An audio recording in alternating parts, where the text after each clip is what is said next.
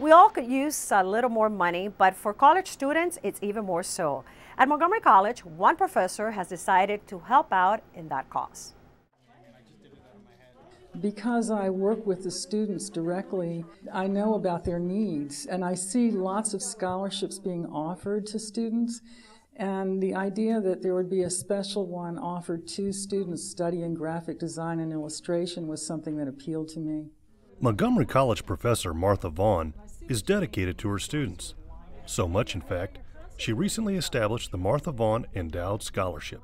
Working with the students is everything to me. That's why I work here, to watch them go through the process of um, trying to solve a creative problem, the struggle that's involved, and then I get to watch them find that solution, and that is so gratifying.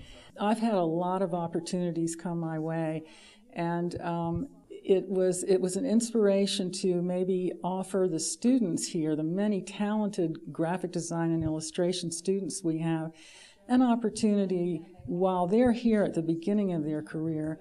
Um, those kind of opportunities can make such a difference in someone's life. The littlest thing, the smallest little opportunity can really change lives, and of course, here at Montgomery College, we're in the business of changing lives. Her scholarship will provide assistance to Montgomery College graphic design and illustration students who have a 3.0 GPA or higher and need financial assistance beyond what federal financial aid can offer.